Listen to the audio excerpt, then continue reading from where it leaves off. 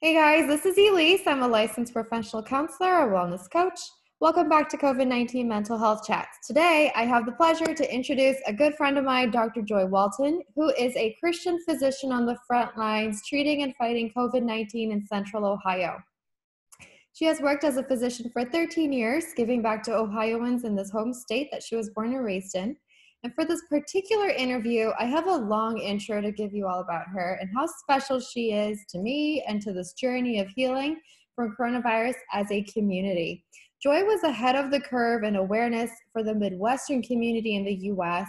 She channeled her awareness into action by creating a, fo- a forum on Facebook with her sisters called COVID 19 for Healthcare Workers. That went viral and now has around 300,000 healthcare worker members from all over the US and even from other parts of the world.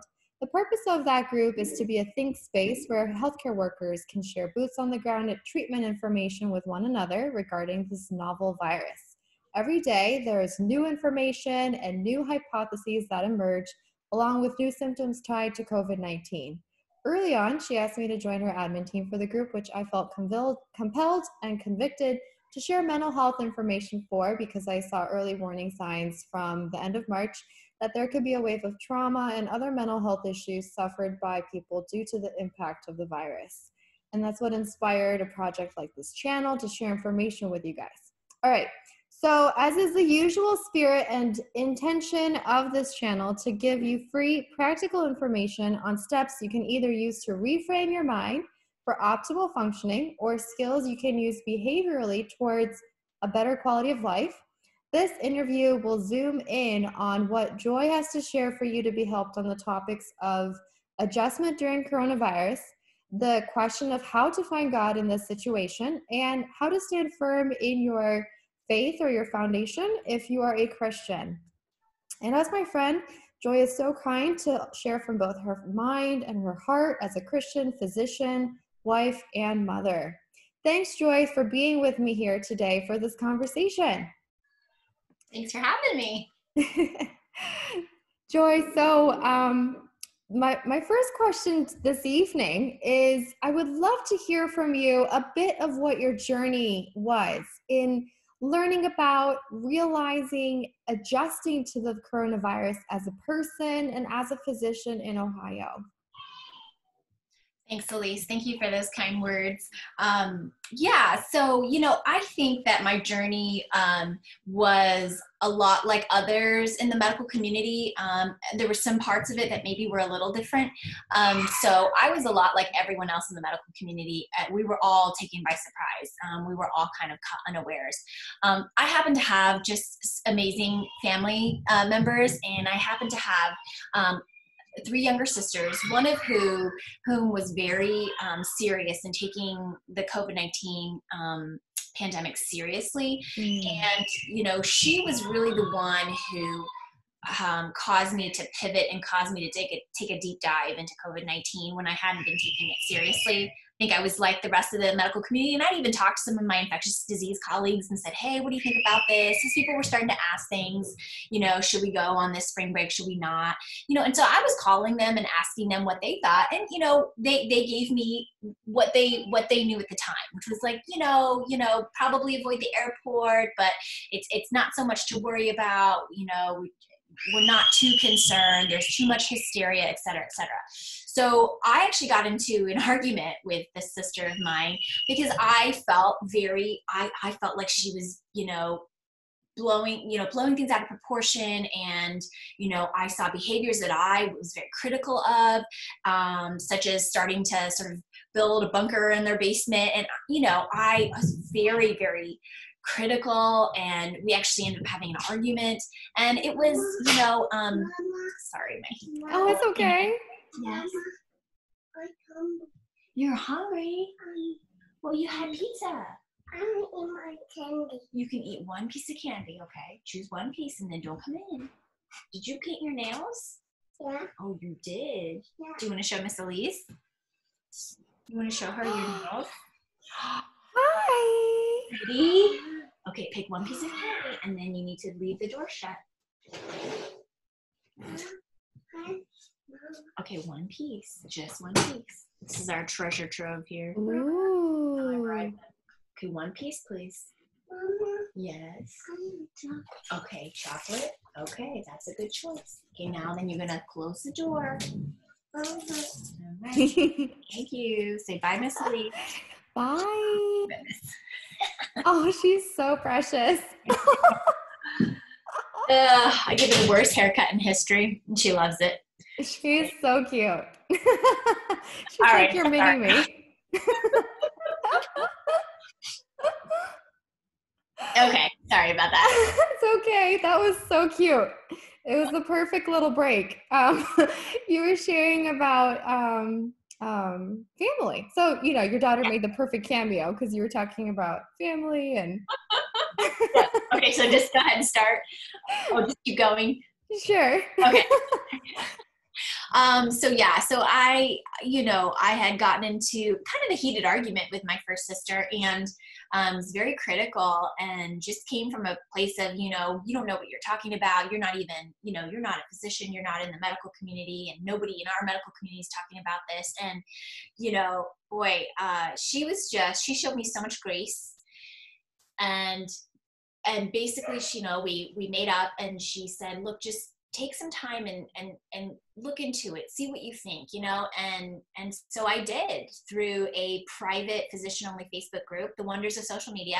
Um, i kind of did a deep dive and basically for like the next 48 hours we did a deep deep dive and found out through a private physician feed that was getting information from boots on the ground in seattle and italy and and the west coast saying hey this is real you guys get ready. This is we're dealing with it. We're, we're in the trenches and it's terrible. Please please do what you can and start start getting prepared now. You know and Mm. so i mean it took a while for that to sink in. It did not sink in right away. And so but um essentially by uh, by the second week of march i had com- made a complete pivot.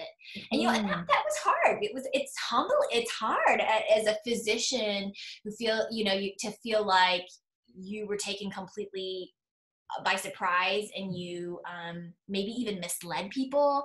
You know it just really Mm. was a moment that um, i had to say okay like i'm gonna swallow my pride. This is so much bigger than me. This is serious you know and again credit to my sister for for helping me pivot in that way through just kind of this humility this just attitude of humility so that's that's kind of how i first began um, my journey Mm, wow. Thank you so much.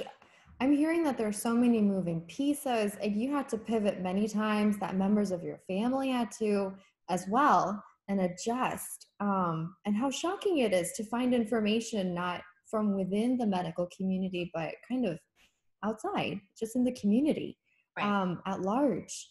So I'm curious, how was it for you to adjust um, kind of in some ways alone because you, you knew certain things and you were hearing certain things through other connections, your colleagues, your friends, your very close friends who are also physicians, um, who were hearing similar things, but then others who were not yet up to date with similar news and and then in your family system as a sister to adjust you know as a as a member of the family a daughter a wife a mother and a family relative um, how were how was how did it feel for you to have to adjust so many times and, and constantly? Yeah, it, it was um it didn't feel good. Yeah It- it very um, yeah it was it was um it was easily the most alone and the most terrified i've ever felt in my entire life you know and um it- you know it it um i i felt an incredible sense of responsibility knowing what i what i had learned again not really because I was any smarter than anybody else, but just because I started paying attention a little bit earlier.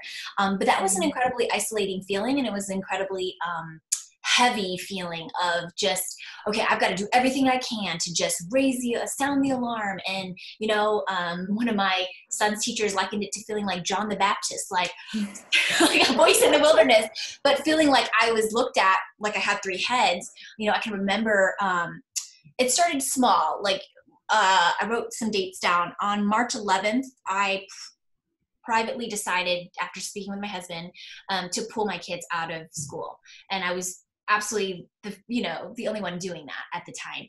Um, uh, that same day, I canceled our spring break plans. That same day, I also canceled um, my daughter's checkup at her uh, per three-year-old checkup with her pediatrician. Mm. Uh, I mm. canceled our music lessons. I canceled a bunch of uh, play dates that we had, um, and um, I remember uh, then the next day I was sitting in a um, among some colleagues and there were about 20 of us there and sort of you know nobody's wearing masks or anything. We're just sitting there and at a presentation. And i remember saying something like you know should we even be here right now? Should we even be sitting in this room? And sort of you know getting like laughs in the room. And, and nobody was you know unkind but just kind of feeling like uh, embarrassed and silly for saying that. Um, mm. And then mm. literally that afternoon, DeWine, um, our governor, um, announcing the three week spring break, um, extended spring break for schools, um, and uh, announcing the less 100 assemblies. Um, the following day, on Friday the 13th, I was the first person to cancel my pediatric clinic.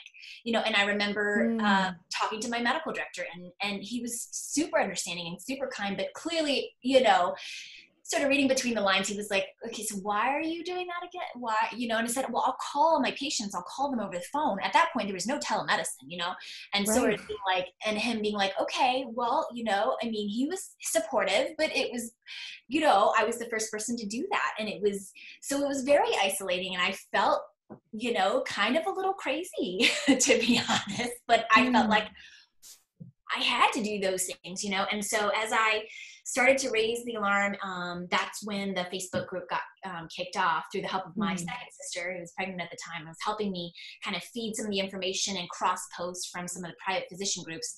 I wanted to make that information available to all healthcare workers in the community, um, and so that's kind of how that got started. But I'll tell you, Ellice, I um, I went to a very dark place. I went to a place that I have never been. Um, and you know this is trying to be sensitive to those with mental health issues but i have not ever personally struggled with any mental health um, issues that have been diagnosed and mm. i um, i absolutely went to a place where i could not get myself out of i stopped eating i stopped drinking i mean mm. i could hmm. feel the dehydration in my body um, mm. I, I i didn't sleep for an entire week um, I stayed in one spot in my basement. I essentially completely quarantined myself away from my family.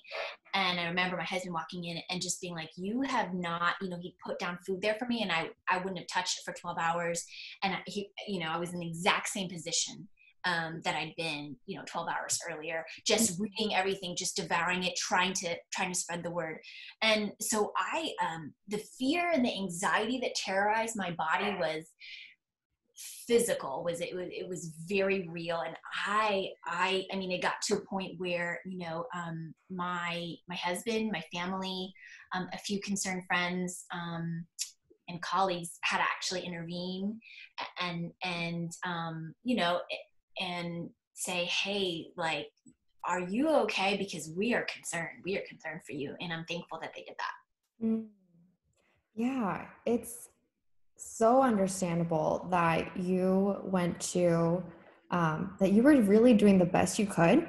And it sounds to me like you were having some normal responses to a very abnormal situation. You know once you go through your training as a physician you're not really prompted to think that you're going to go through another medical school type system or situation where you're totally new to everything and it's all novel to you and nobody and, and then especially to be in a situation where it feels like everyone's going through medical school again yes. where like nobody really has any answers right. um, at right. the end of each day um, except for another hypothesis or a strengthened hypothesis right so yeah.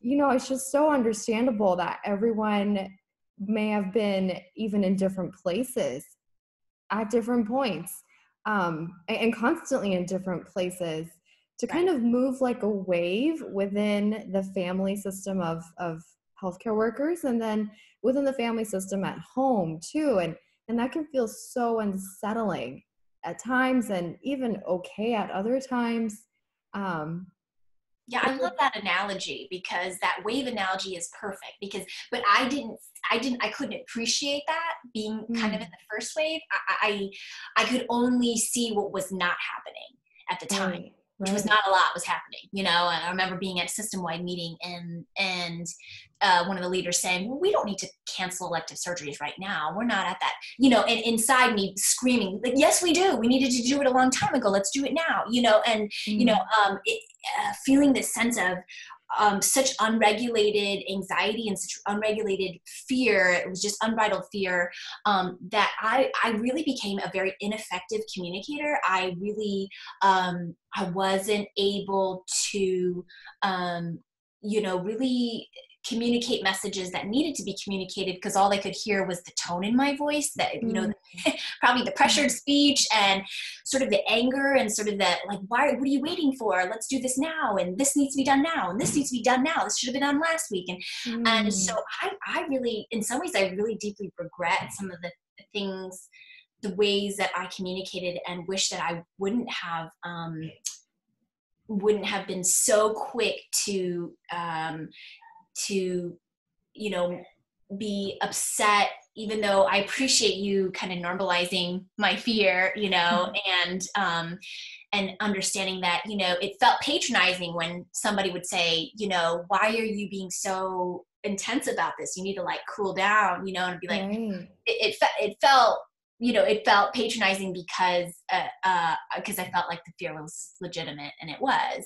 Um, so, but I appreciate that because you know I could see that wave happening, you know, in my medical community as people caught on, as my leaders caught on.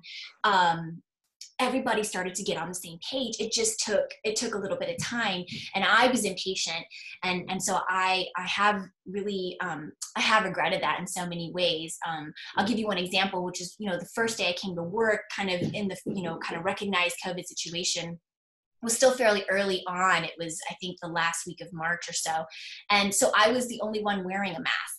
Um, mm. and i was handing them out to the janitor and to the cook and to the nurses and you know and my colleagues i was having you know pretty intense conversations with you know trying to really help them to understand and so um and i got you know i got um you know, I got reported um, mm. uh, by just everybody, left and right, um, and all the way to the top. And so you know, of course, my response was just like, you know, this is wrong. Like, I shouldn't be crucified for this. I should be, you know, this, this is, this is. I'm trying, I'm trying to be helpful here.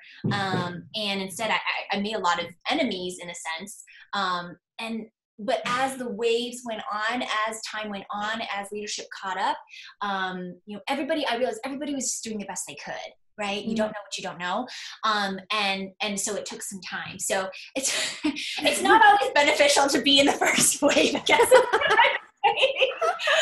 But I, I I appreciate what you you said just uh, moments ago, and and um, I, I, did ultimately, you know, just being fully transparent here, I did end up um, being mandated to see a psychiatrist um, for uh, um, physicians and, and providers and it ended up being a wonderful thing um, and i'm so happy i did but it did in that moment felt um, a little bit like a move on leadership's part to silence me um, because i was s- sort of seen as um, an insider of panic.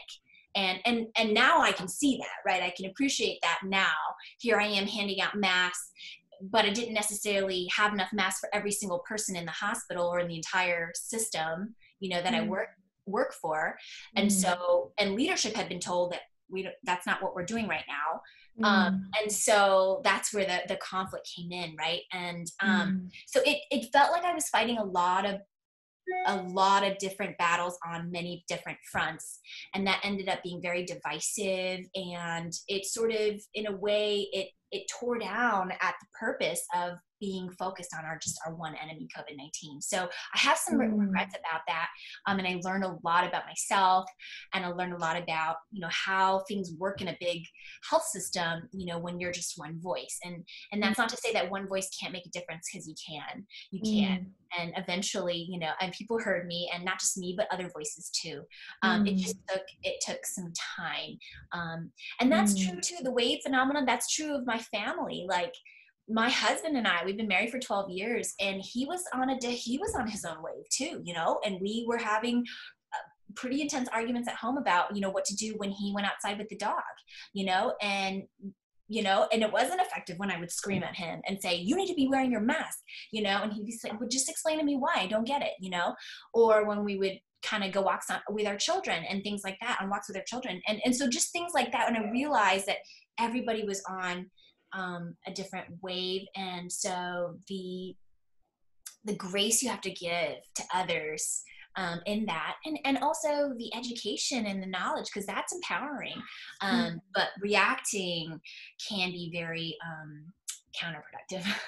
Oh wow. Joy i just i want to so this part i guess i should say because you know we're we're doing a recorded interview in addition to being able to talk because we're friends this part is um it's unscripted. None of it is planned out. So i just want i just want to uh to, to share that out loud for people who are going to end up listening to this. And and at the same time um i just want to thank you so much because as a friend um that's a huge amount of trust that you're sharing that with me to that amount of detail and about your experience in the system um, how it feels to work on the team to be ahead of the curve before most of the medical community in our in our locale and the medical community of course is ahead of the rest of the community. And so um, to have to bear in patience and humility to to have the humility to even share like hey this is what happened for me and um, i needed some professional support. I needed people to watch out for my best interest for my own well-being and it turned out to be really good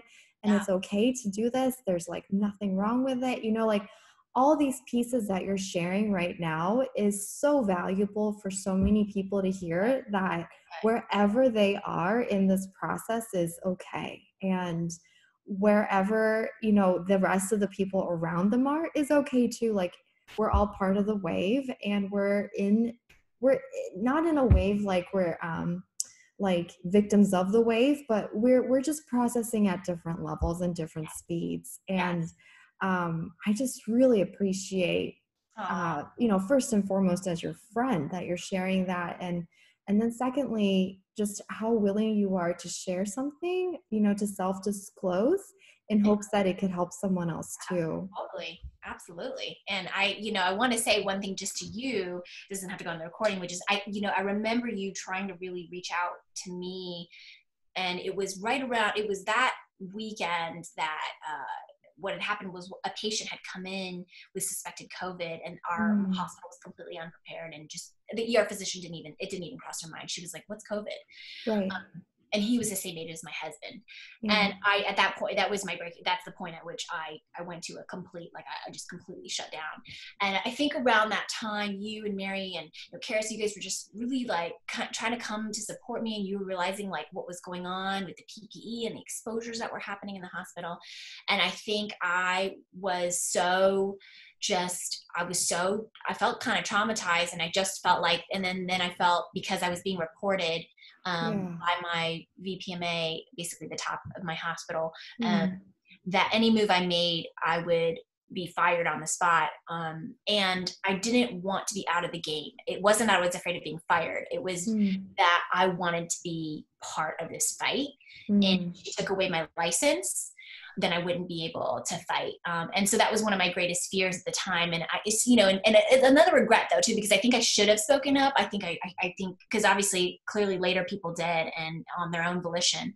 Um, but at the time that was really my greatest fear was that I, um, I had released a letter to my neighborhood and that kind of got shared widely and people were people that had no idea were telling me that they had received the letter. And in it, I had ref- referenced very loosely, not violating HIPAA rules, but referenced a couple patients um, in in that had been seen the night before, and so mm. you know there were a lot of like threats coming. Not threats. Threats is a strong word. Like a lot of just like tips coming from my medical director, from friends and colleagues who were like, "Hey, you gotta you gotta watch out. You gotta watch out. You're you're gonna be like they're gonna they're gonna get you for that." You know, and so there was a lot of just a lot of fear. And so, anyways, I just say that because I I know I understood your intention in doing that, and I, I wish that I sort of had the you know mental fortitude to be mm-hmm. able to say yes but i just couldn't in that situation so oh it's okay no not at all yes dear I'm hungry. hungry again? Go take that to. Go take that. Alexa, Guys, lights on. Okay, go take it to open honey. This one's not spicy. It's not spicy. Okay. All right. Bye bye. So, anyways, yeah, I think it, I, I the, the timeline is still a little blurry in my head because it was um, I need to like today was actually the first day that I like wrote things down. I used my Facebook to kind of remember what day things happened, um, and so I know somewhere around there early on you had reached out. Um, but anyways, Oh, well, that's what a friend is for. And I think, you know, in these times, um, we're really, we, we're like so much good is coming out of the woodwork, Yes. really. You know, everyone in the community is getting creative, stepping up, helping each other, and, then- and then also reaching inside. So um, that kind of segues to my next question. As all these things are happening and moving and, and, um, it's easy for anyone to to fall off their foundation to feel like their foundation is shaky and um I, it's not i feel like my my question is not super well formed so let me ask it and then you can and then you can answer how however way you feel four. yeah, we're kind of in between three and four. So, like, as things are moving, where did you go to find security and peace of mind in all of this? How did you find God in the midst of what was happening?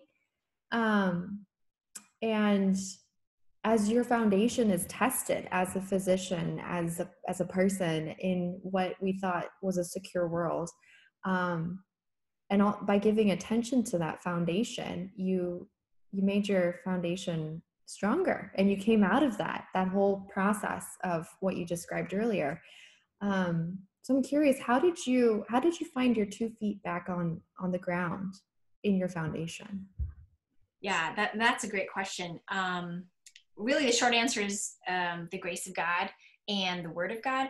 Um, I I did, you know, things kind of um, escalated to a point where I was almost, I'd say, maybe in a semi, not a psychiatrist, but maybe a semi catatonic state where I was, um, I had locked myself in my room, um, and I time sort of lost time there wasn't a sense of time.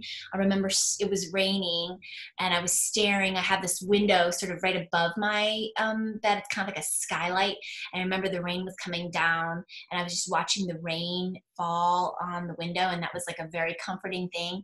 Um, and i remember like at some point you know i just sort of i hadn't slept at that point in a week or so and my husband walked in and i said what time is it? And i forget what he said but i said how long have i been laying here? He said eight hours. and, and, you know so just I, so uh, in my mind this is what's going on in my mind you know i you know i work in a s- small hospital with an open icu so generally even though we have critical care backup and anesthesiology backup in that moment at that time this is early in covid um, Mm.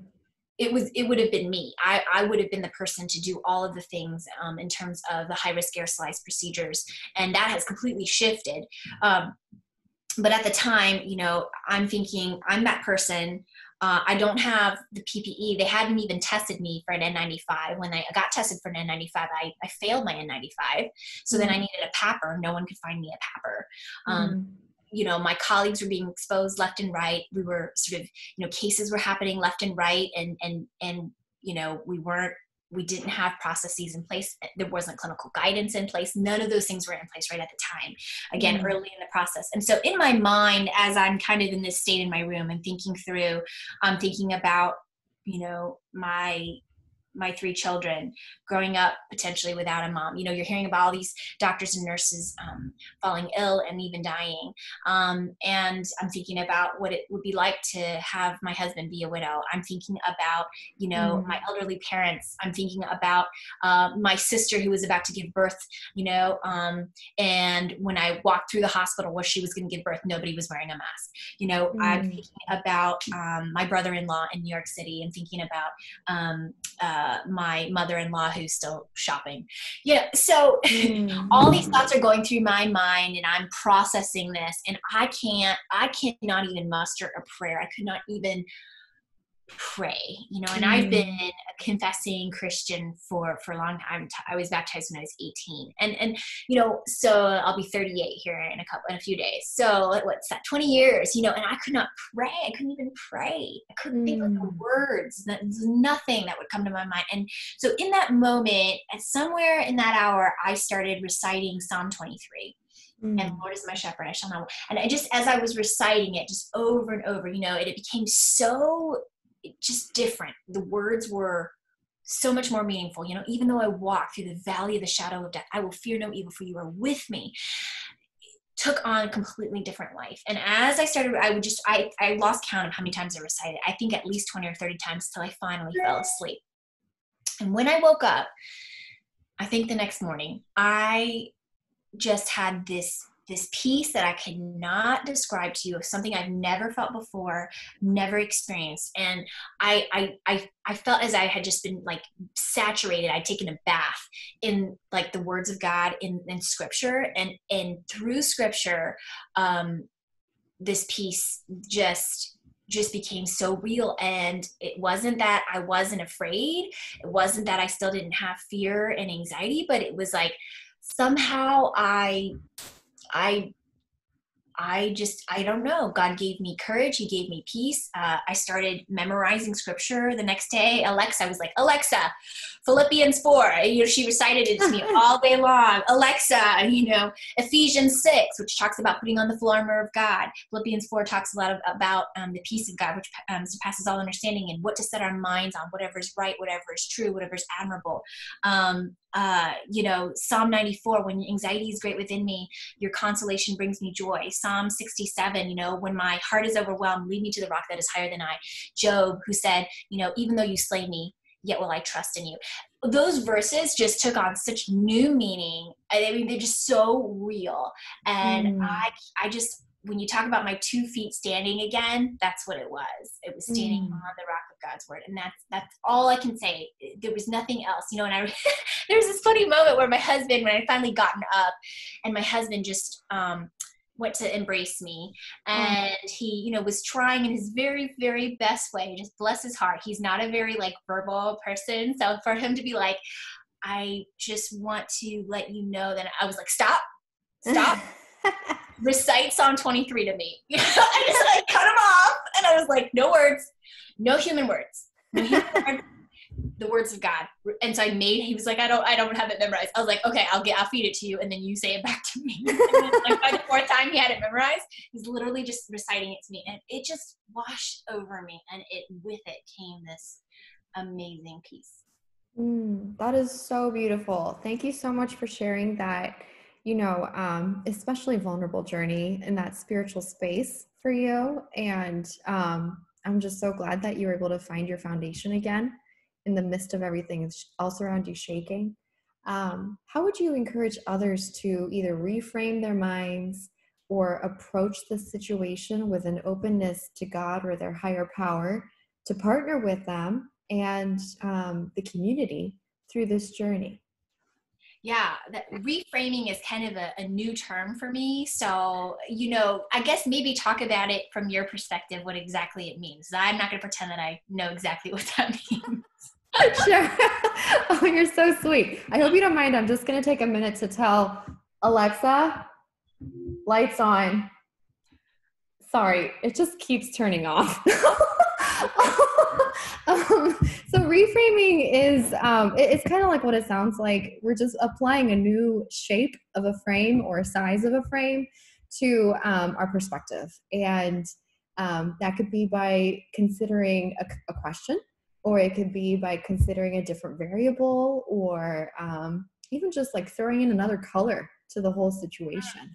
So what whatever that is it, it the variable that makes the reframe happen it could be anything so if okay. you were to, um, you know, when, when thinking about just, it, you don't have to worry about it being like a mental health whatever okay. type of practical step okay because um, you know the fact that you're ahead of the curve and that you've gone through all this internally and are coming out so strong so positive so like united with your team with yourself with your higher power and you're just you're like all like all steam ahead. And yeah. um you know so for others to also find that place of strength within themselves um, what what would you suggest has worked for you that that can work for others too to to find themselves also back on two feet on on Got solid ground? Hmm okay. Um oh, a couple things come to mind and and i don't know if this exactly answers the question but two things that happened to me were um, one, my baby nephew was born. He was born on March 24th. So, um, and when my sister uh, went to go deliver, you know, she was, of course, with me in the very early stages. So, um, and she's not in the medical field, but, you know, I basically explained to her, you need to be wearing a mask when you go and deliver. And you have to be prepared that nobody else is going to be. And she and, and she and her husband, you know, were definitely the only ones. None of the nurses were, it, you know, the whole bit. And so, you know, um, they had their sweet uh, baby boy, and you know, I'm very close to the sister. And I was supposed to be like her person because her husband um, passes out easily. so I was going to be like the person that was there, and so it broke my heart that I couldn't be there. Um, but Aww. when she brought her baby boy home, um, and his name is Noah, and Noah means rest. Um, and peace and comfort. I remember just sitting down and being kind of inspired by that and thinking about him as a baby. Um, and it was taking me back to eight years ago when I brought my first baby boy home. And I was like, are the feds going to come out and take this baby from me? Because I don't know what I'm doing. Like, you know, I should be arrested right now. They shouldn't let me walk out of the hospital with this baby, you know, and just being like completely just blown away, like this human fragile life is in my hands. And being just struck with fear, like again, terrorized with fear. Mm-hmm.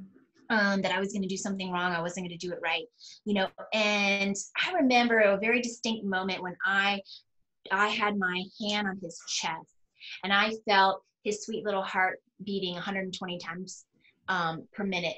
And as I went to lay him down, I just very clearly felt the Lord like impress upon me, like, you, you know, you're doing, you're, you're the mama, you're doing the best you can, but are you doing that?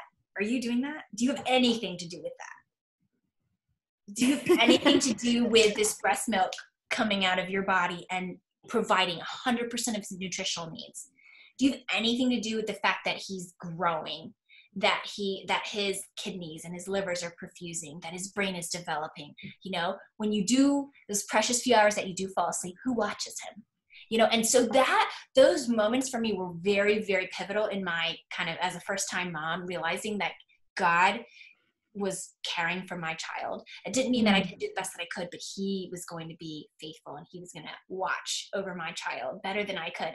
And so, in going back to Noah and my nephew and thinking about him, you know, in that moment of fear and anxiety, as I was thinking about COVID 19, you know, I, I was like, you know, the world, the b- babies are going to keep being born.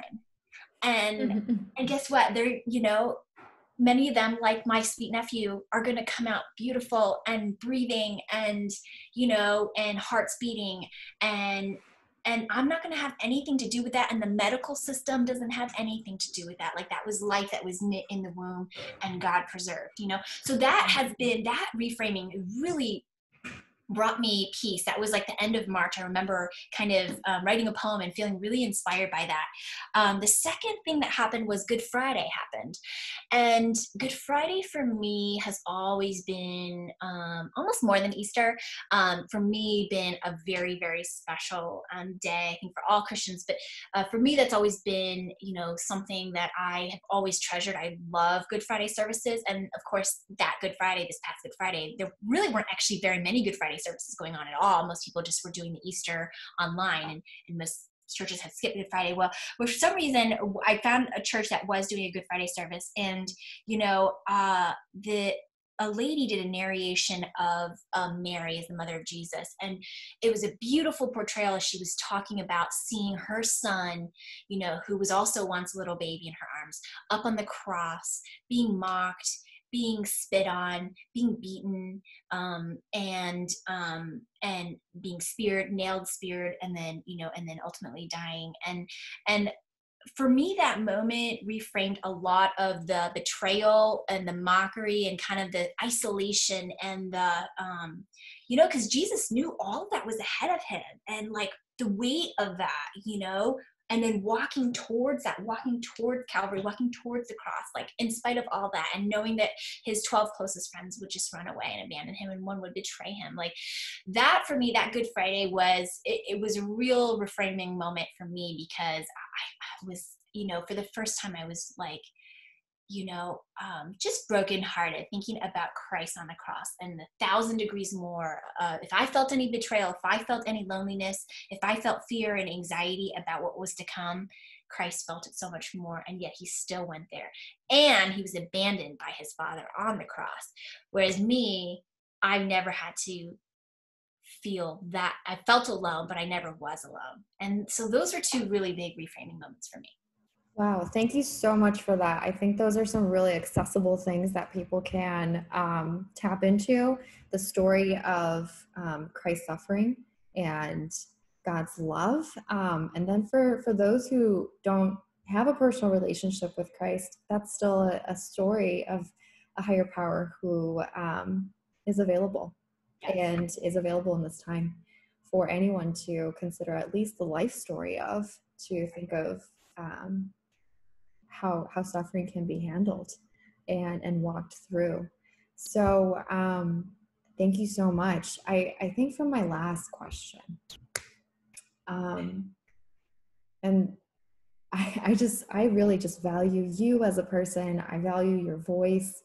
Um and so I, I want to make sure we have the space to to ask if you have any message that you would like to share in closing um, with others in this time, whether it's a practical suggestion or, or not, whatever thing that you would want to share, what would that message be? Ah, let's see here. I think the main thing on my mind has been the idea of unity. Um, and that was something early on that I felt um, I'd woken up one morning thinking that I'd had a conversation with my parents. Um, and so I remember texting them that morning and being like, did, mom, did you, what were you talking about when you said 111? Who is 111? And she was like, I don't know what you're talking about. I was like, dad, what, you, what did you, he's like, I don't know what you're talking about. So I realized it was a dream. I woke up and, um, and in that dream, it was just a very clear 111. And as I just started to meditate on that, it sort of became crystallized. And that was the idea of one enemy, one heart, and one purpose. And you know, the one enemy thing, COVID 19 being the enemy, that was something that I personally really struggled with because, as I mentioned earlier, I felt like I was fighting a lot of different battles early on. It was the battle kind of against the public, the public that's hoarding the toilet paper, the public that's, you know, not taking the social distancing seriously, the public that thinks there's, there's, um, this is a hoax. Even now, you know, um, the protesters and things like that, that it, it is, it's demoralizing as a healthcare worker to, to see that. Um, and so uh, you know there was that there was that battle.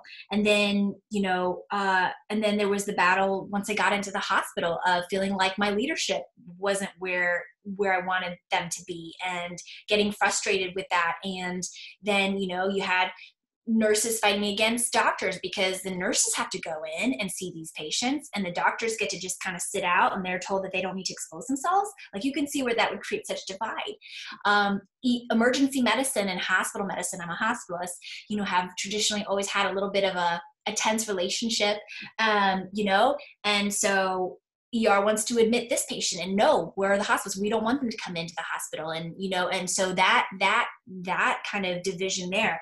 Um, you know, I think politically we've seen so many divides um, as well. And so I think the idea of one enemy is really um, something to really to really think on as we think about you know even as we're moving forward here now talking about reopening and different phases um, state by state like there's there's a lot of contention you know? And i've seen everything from wanting to blame it on fox news to you know cdc to um, this governor or that governor or that uh, you know and everyone has their point of view and and you know i get that. And so you know but if we can have one laser focus on our one enemy then in a sense we can we can kind of come together instead of fighting kind of these other battles um, and so and then the one heart comes from just the idea of really being others oriented and, and thinking about uh, others' point of view. And I think it's easy to get very fired up, you know, as a healthcare worker about our what about our PPE? What about our exposures? What about the sacrifices? What about you know all of these things? And then kind of you know forget that gosh, there are people who are you know have made incredible sacrifices economically and you know people who are suffering from non-covid complications um, and and and so many other so many other uh, points of view that we easily sort of say well my my point of view or where i'm suffering or my community suffering is this and then again we we sort of we start fighting against each other instead of being unified.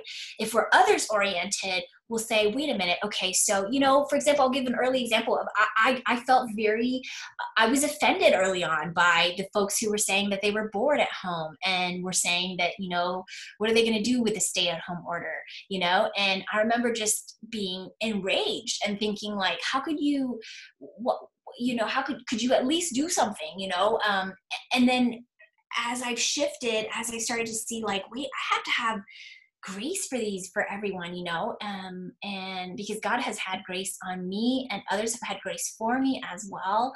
And so, you know, um, kind of going back to reframing, sort of instead of saying, well, don't be so, you know, uh, trying to be um, negative about it, sort of reframing things and saying, you know, it, it must be hard. It's hard for those who are working and it's hard for those who are not working. And we're all going through this together and we're kind of all struggling in our own way you know reframing things that way. Another way you know instead of saying well um, gosh you should just be grateful for this x y and z. At least you have this x y and z. You know instead of saying well what, what about this? You know yeah you know there are definitely always things that to be grateful for but it's okay also to be sad about things too you know and it's okay to sit in our grief as well um, so that that one heart, that one mindedness, that like mindedness, that others orientedness is so huge. So that one enemy, one heart, and one purpose. One purpose comes from the idea of just really, um, you know, not not uh, again counting whose sacrifice is greater or you know stacking things against one another but you know having one purpose to to you know to see normalcy again in a way that is safe for everyone but in a way that you know um, minimizes um, you know the the negative effects too of the stay-at-home order. So there's there's so many different moving parts to this. It's a very nuanced very complex discussion. And i think the humility and the the grace we have for one another is is what's really going to move things forward instead of keeping us caught in this kind of trench of fighting against one another. So that's i think that's what i would want to want to say is let's let's remember let's remember that that message of 111 um, and then really the best person i think that has said it is mother teresa. Um, someone sent me this earlier and I've, I've read this before but it just has taken on a new meaning. And in her words she says you know people are often unreasonable irrational and self-centered. Forgive them anyway. If you are kind people may accuse you of selfish ulterior motives. Be kind anyway if you are successful, you will win some unfaithful friends and some genuine enemies succeed anyway. If you're honest and sincere, people may deceive you. Be honest and sincere, sincere anyway. What you spend years creating, others could destroy overnight. Create anyway. The good you do today will often be forgotten. Do good anyway. Give the best you have, and it will never be enough. Give your best anyway. In the final analysis, it's between you and God. It was never between you and them anyway.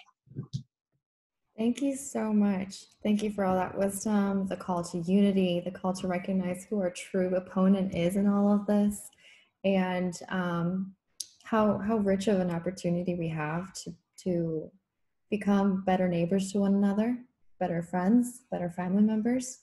And um, in that vein, I'm very very thankful to your daughter, to your little one, to to share mommy with me today for some time for a long time. Thank you so much. Say hi, Lily? Hi, Lily. Thank you so much for sharing your mommy. And thank you for sharing her with so many of us. Um, so I'll just close out.